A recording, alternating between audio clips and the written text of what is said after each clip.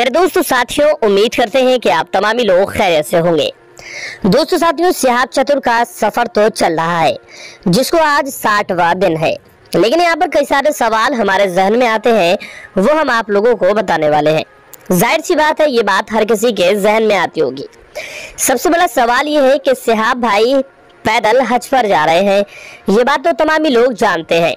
लेकिन यहाँ पर एक सबसे बड़ा सवाल ये खड़ा होता है कि आखिरकार उनका दिन में कितना खर्चा होता है। ये एक सोचने वाली बात है और ये ज़्यादातर लोगों के दिमाग में बात आती होगी कि भाई, सियाब भाई पैदल हज करने जा रहे हैं तो कुछ तो खर्च होता होगा। ज़ाहिर सी बात है, हम बाई प्लेन आज हज करने के लिए जाते हैं तो तकरीबन चार लाख या साढ़े चार लाख रुपए का खर्च आता है। वहीं अगर हम पानी के जहाज़ से जाते हैं तो भी खर्च आता है। यानी कि बिना खर्च के तो कुछ भी नहीं होने वाला है। तो अपने यहाँ पर बात यह है कि आखिरकार फिर सिहाब भाई का कितना खर्च आता होगा। क्योंकि उनको पैदल चलना है, रुकना भी है, खाना भी खाना है, साथ ही साथ पुलिस फोर्स भी है। तो आज इसी टॉपिक पर हम आप लोगों से बात करने वाले हैं। दोस्तों, साथियों, दो से चार मिनट रुक करके आप लोग इस वीडियो को आखिर तक ज़रूर देखिए। क्योंकि ये वीडियो आप लोगों के बहुत ही ज़्यादा काम आने वाला है। सबसे पहले हम आप लोगों को बता दें कि सिहाब भाई ने ये जो मदीना शरीफ का सफ़र तय किया है, ये यूँ ही नहीं किया, बल्कि इसकी परमिशन लेने के लिए उनको पूरे एक साल का वक्त लग गया। यानी कि हम आपको बता दें, पाकिस्तान से परमिशन ईरान से परमिशन और कुवैत। यानी कि जिन शहरों से होकर के जाना है, उन सारे शहरों से सबसे पहले परमिशन लेनी पड़ती है। क्योंकि हम बिना परमिशन के किसी भी मुल्क में एंट्री नहीं कर सकते। और ना ही कोई हमारे मुल्क में बिना परमिशन के एंट्री कर सकता है। तो ज़ाहिर सी बात है, आप खुद अंदाज़ा लगाएँ कि जब परमिशन ली गई है तो उसमें कितना ज़्यादा खर्चा हुआ होगा। वही दूसरी तरफ़ अगर बात की जाए, ये भी बताया गया है कि सुहाब भाई ने 10 महीने चलने की ट्रेनिंग ली थी। यानी कि हर शख्स एकदम इतना लंबा सफ़र तय नहीं कर सकता। हमें आप अगर सफ़र तय करेंगे तो दो या एक किलोमीटर ही चल सकते हैं। उसके बाद हमारी और आपकी हालत ख़राब हो जाएगी। लेकिन यहाँ पर मामला ये है कि आखिरकार इतना लंबा सफ़र तय करना और फिर उसके बाद खर्चा। यहाँ पर हम आपको बता दें कि जब कोई शख्स अपने घर से निकलता है तो वो अपना खर्चा उसी हिसाब से लेकर के चलता है। क्योंकि तकरीबन 40 दिन तक तो किसी को ये भी नहीं पता था कि कौन सिहाब है और कौन सफ़र पर जा रहा है। यानी कि किसी को मालूम नहीं था। ये पिछले 15-20 दिन से लोगों को मालूम हुआ कि एक शख्स है जिसका नाम सिहाब है और वो केरला से मक्का और मदीना के इस सफ़र पर जा रहा है। तो ज़ाहिर सी बात है, आप अंदाज़ा लगा लें कि 50 दिन या 40 दिन का क्या खर्चा हुआ होगा। अगर नॉर्मल खाने का आज के वक्त में खर्चा देखा जाए तो हज़ार पाँच सौ रुपये से कम नहीं आता। वही दूसरी तरफ़ जब आपको कहीं रुकना है तो आपको रूम भी लेना होता है, आपके पास कपड़े भी होते हैं, यानी तमाम तरह के आपके खर्चे आते हैं। लेकिन इस वक्त अगर बात की जाए तो सुहाब भाई के लिए तमामी लोग आगे बढ़ कर के खड़े हैं। यानी कि हर कोई सुहाब भाई का स्वागत कर रहा है। सबसे पहली बात, पुलिस प्रशासन। पुलिस प्रशासन जो सुहाब भाई के साथ चल रहा है, वो कोई परमानेंट नहीं है। बल्कि वो स्टेट बाय स्टेट, ज़िले बाय ज़िले चेंज होता चला जा रहा है। क्योंकि जब परमिशन ली जाती है तो परमिशन में सिक्योरिटी भी साथ में मिलती है। उसका भी एक ऑप्शन होता है। तो वहाँ पर सुहाब भाई ने सिक्योरिटी अलाउ की थी, इसलिए उनको सिक्योरिटी मिली है। यानी कि यहाँ से मक्का शरीफ और मदीना शरीफ तक उनको सिक्योरिटी मिलेगी। काफ़ी रास्ते ऐसे भी हैं, जो कि जंगल में होकर के जाते हैं। काफ़ी रास्ते ऐसे भी हैं जो सुनसान इलाकों से वादियों से निकल करके जाते हैं। तो ऐसे में अकेले शख्स को काफ़ी ज़्यादा खतरा रहता है। तो ऐसे में उनके साथ पुलिस प्रशासन मौजूद रहेगा।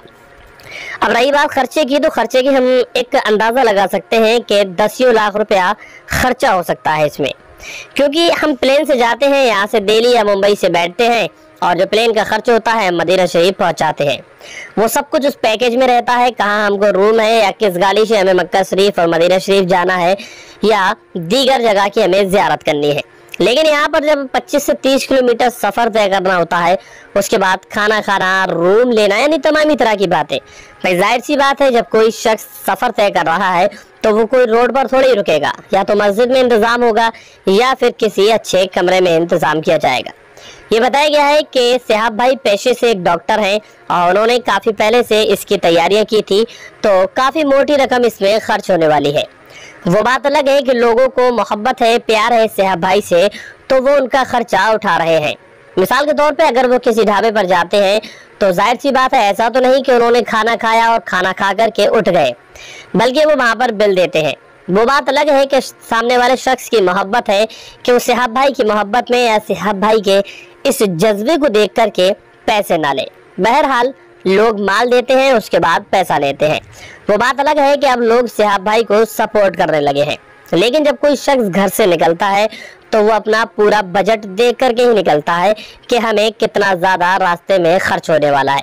ज़ाहिर सी बात है, जब हम घर से सफ़र करने के लिए निकलते हैं, और हमको मालूम होता है कि हमारे सफ़र में एक हज़ार रुपये खर्च होने वाले हैं तो हम एक हज़ार रुपये एक्स्ट्रा रख के लेकर के चलते हैं। कि बाई चांस कुछ परेशानी रास्ते में आ गई तो ये हज़ार रुपए से हमारी मदद हो जाएगी। यानी कि हम डबल पैसा अपने साथ लेकर के चलते हैं। अब लेकर के चलने का मतलब ये नहीं कि वो पैसा हम अपनी जेब में रखेंगे। आजकल ऑनलाइन का ज़माना है तो ज़ाहिर सी बात है हम किसी भी चीज़ का पैसा आराम के साथ और सुकून के साथ पे कर सकते हैं। क्योंकि अब लोग ये कहेंगे कि सिहाब भाई का बैग है, बैग में काफ़ी ज़्यादा कपड़े हैं, उनके शूज़ भी हैं और तमामी तरह की चीज़ें हैं। तो देखिए कि सुहाब भाई जब घर से निकले थे तो एक बैग लेकर निकले थे, जो कि हर कोई अच्छी तरह से जानता है। भाई ज़ाहिर सी बात है कि बैग में कुछ ही सामान होगा, इतना भारी बैग नहीं होगा, क्योंकि एक शख्स को चलना भी है। ज़ाहिर सी बात है, दस किलो वज़न होगा। लेकिन उसके बाद सफ़र उन्होंने तय कर लिया। रास्ते में काफ़ी सारे वीडियोस में आपने देखा, उनके कपड़े भी चेंज हो रहे हैं, उनके शूज़ भी चेंज हो रहे हैं। तो या तो सुहाब भाई खुद खरीद रहे हैं, या फिर लोग तोहफे बतौर उनको ये तमाम ही चीज़ें दे रहे हैं। अक्सर ऐसा होता है, जब कोई बंदा इस तरह के सफ़र पर जाता है, किसी नेक काम के लिए जाता है तो लोग उसमें बढ़ चढ़ करके हिस्सा लेते हैं।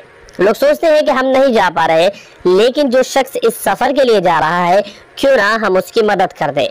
जिससे कि मौला ताला हमें भी इसका कुछ न कुछ अजर ज़रूर अता करते जब कोई शख्स अच्छे अच्छे सफ़र पर जाता है, नेक राह पर जाता है तो लोग उसमें जो है ताउन करते चले जाते हैं। तो ज़ाहिर सी बात है, ऐसा भी हो सकता है कि लोग जब स्टे करते हो ये, उसके बाद लोग इन्हें कपड़े या जिस चीज़ की ज़रूरत हो, वो चीज़ मुहैया कराते हो। क्योंकि तमाम ही चीज़ें लेकर के चलना बहुत बड़ी बात है। और फिर जो सफ़र एक साल का हो, उसमें तो आप अंदाज़ा लगा सकते हैं कि कितनी सारी चीज़ों की ज़रूरत होगी। या तो उन चीज़ों को ऑनलाइन परचेज किया जाएगा, या फिर लोग आपको तोहफे बतौर वो तमाम तरह की चीज़ें मुहैया कराते हो। यानी कि कुछ इन्फॉर्मेशन जो हमने ली थी, वो आप लोगों तक पहुँचाने की कोशिश की थी कि एक सर्वे के मुताबिक अगर बात की जाए तो इस सफ़र पर कितना ज़्यादा खर्च होने वाला है। तो इससे मैंने ये मसला मालूम हुआ कि इसमें दसियों लाख रुपए का खर्चा है, जो कि सफ़र पर जा रहे हैं। भाई, एक साल का सफ़र है और एक साल का खर्चा है, खाना है, पीना है, तमाम तरह के अखराज है। तो उम्मीद करते हैं आपको ये वीडियो पसंद आया होगा। वीडियो पसंद आया हो तो इसको अपने दोस्त साथियों और रिश्तेदारों में ज़्यादा से ज़्यादा शेयर कर दें। हम आपसे मिलते हैं एक और कामयाब वीडियो के साथ। तब तक के लिए अल्लाह हाफिज़ दुआ खैर में याद रखें।